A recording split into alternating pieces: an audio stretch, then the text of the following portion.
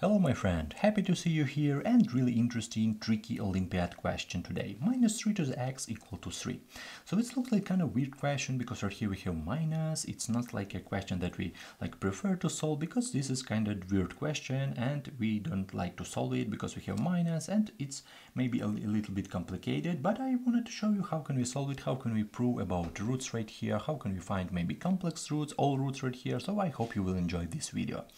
Okay, first of all, for example, we if we if we won't have parentheses, like right here, if we want if we don't have parentheses, we'll have like minus 3 to the x equal to 3. Okay, we don't have parentheses, let's try to, to solve it without parentheses. I want to show you one, one trick.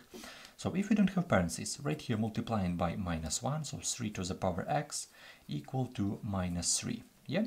So if we have this expression, 3 to the x equal to minus 3, we can easily use our graph method right here. So 3 to the x, this is our increasing exponential function, so this is our 3 to the x, and minus 3, this is our constant right here. So as you can see, there is no point of intersection right here. So this function 3 to the x even does not intersect with x is x right here. So doesn't, and with minus 3, this is like not possible, like they intersect. So right here we don't have any roots, so there is no possible and no no solution. This is about when we don't have parentheses, yeah? But we have parentheses in our case, but let's try to prove that we don't have any real roots. So minus 3 to the power x equal to 3. Yeah, we have this situation, so from the beginning. And we don't have, we, we have parentheses right here in our case. Let's try to prove that right here we don't have any real roots. So this is this function looks like, like looks like that, so a to the power y equal to x. And I write it as a variables, yeah? And how can we solve this function? This is our logarithm, because we can write it as log, log x base of a equal to equal to y. And if we plug in our elements from here to our log, we will have like log, right here we'll have base of minus 3, right here 3, equal to equal to x. And I want to go back to our log um, as we have in, in, our school. So we we need to know about three log properties. So if we have log we need to know that our a need to be positive. Our a is our is our base. Our base is negative. So right here this rule does not works in our case. Okay let's go to the second step. We need to know that a is not equal to 1 and for it right here, a is not equal to 1, this is negative, so a is not equal to 1, this is good for us. Okay, and the third step, x is, is positive 1, x is greater than, x is greater than 0. And this is correct, yeah? This is good for us, x is greater than 0. But one really interesting moment, we need three three steps works right here. We don't need to like two works one one is not working.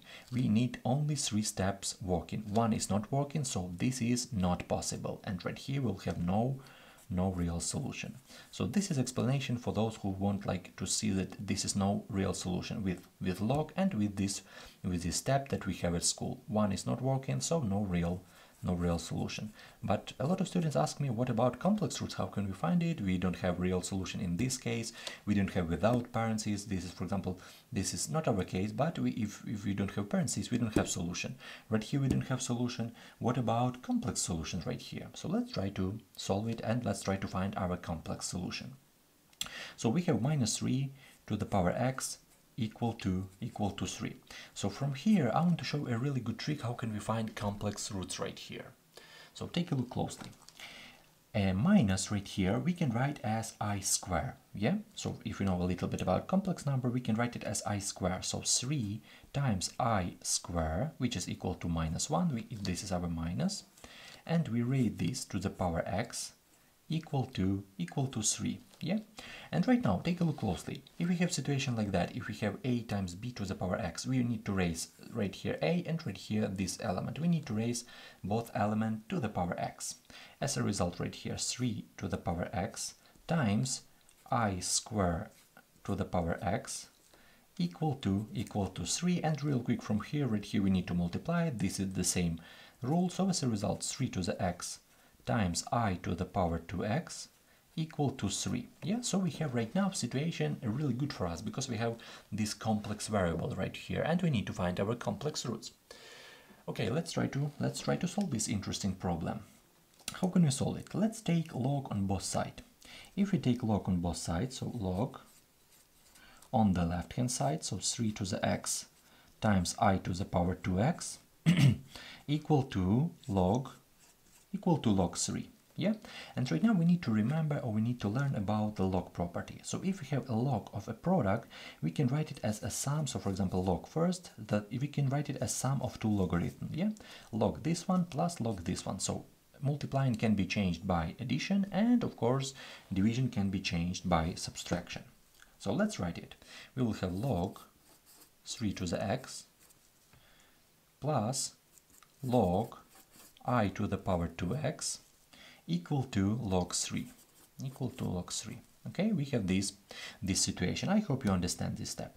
And right now our log we know a really good property. This x jump right here this x jump right here. So as a result x times log 3 plus 2x times log i equal to equal to log 3 yeah?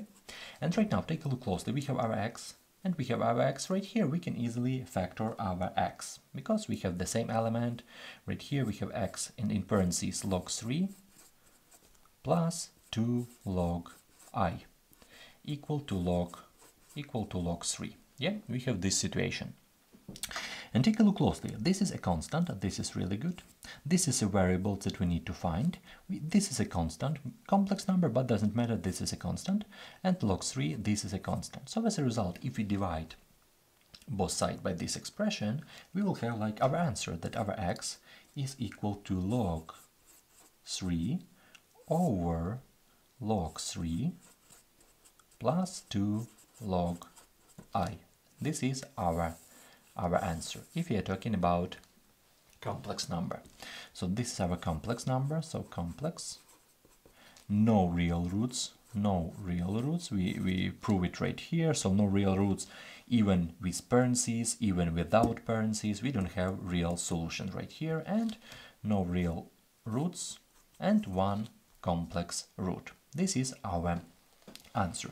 Tricky question, but I hope you enjoyed this video, I hope you understand this explanation and I hope you will learn more about complex number, about log property. This is very like interesting, not maybe a lot of complicated steps right here, just a little bit school theory about, uh, about logarithm and of course about complex numbers. So I hope you enjoyed this video.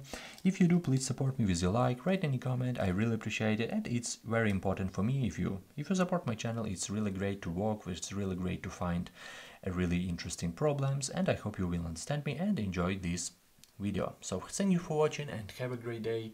See you in the next videos.